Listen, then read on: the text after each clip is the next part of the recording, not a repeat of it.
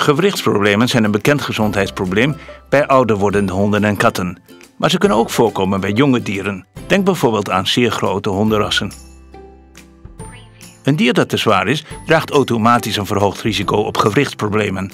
Meer gewicht dan nodig overbelast het gewricht en dit kan de mobiliteit en kwaliteit van leven beïnvloeden.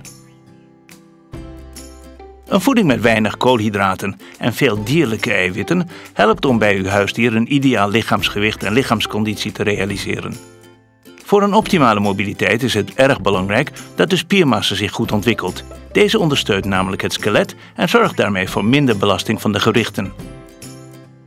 Een hoog gehalte aan dierlijke eiwitten ondersteunt de spiermassa bij volwassen honden en katten. Bij oudere dieren helpt het bij het voorkomen van verlies van spiermassa. Sommige veterinary HPM-producten bevatten ook chondroïtinesulfaat en chitosan.